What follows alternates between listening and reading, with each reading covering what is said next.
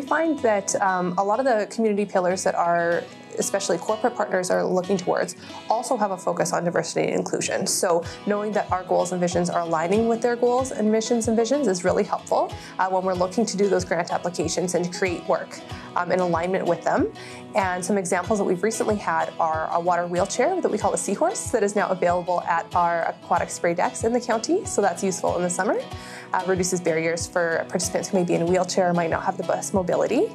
We've been able to host free paranordic ski opportunities both in rural and urban areas, as well as an accessible skate that just reduced um, barriers with cost, with sound, with space, and just allowed participants to come and have uh, an experience that was comfortable for them.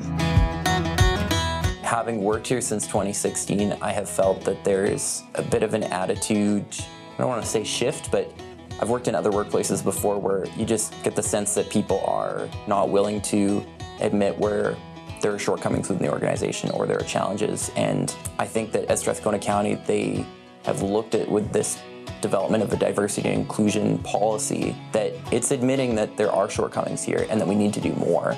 And I think that people are very receptive. And when I talk to other people in the county, they're very vulnerable about the fact that there are a lot of places that we need to improve and that we, we lack in diversity and inclusion services to the public, initiatives with our staff, knowledge for our staff as well. And I think that we've made great leaps and bounds. I certainly wouldn't say that we're anywhere close to a finish line.